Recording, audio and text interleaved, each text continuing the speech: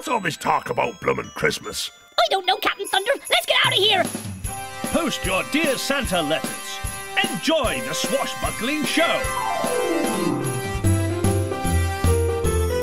Go. Wow. Eh? hey, what's going on around here? oh, hello there, boys and girls.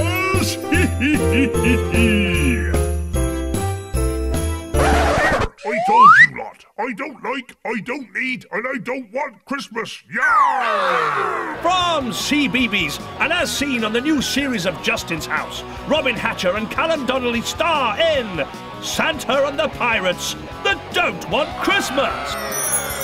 With pieces of eight at stake and Santa all at sea, will Christmas be able to go ahead this year at all? For this adventure, you will need some pirate paraphernalia.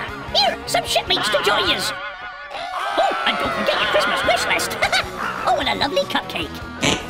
Quiet, silly Billy Bones. There will be no cupcakes. So join us this year for some fantastic festive family fun! Santa's having trouble. Somebody's stolen his naughty list. When the pirates of the good ship Christmas Cheer offer to help him find it, he must decide with the help of the children who's been good and who's been naughty. but can you ever really trust a pirate? Santa and the Pirates That Don't Want Christmas is ideal for families to get together during the festive season for some good old traditional fun song and games with a modern feel. Santa and the Pirates That Don't Want Christmas will be at the Empire Theatre on Thursday, the 22nd of December at 2:30 p.m. We hope to see you there. Yo ho ho! I think you mean ho ho ho.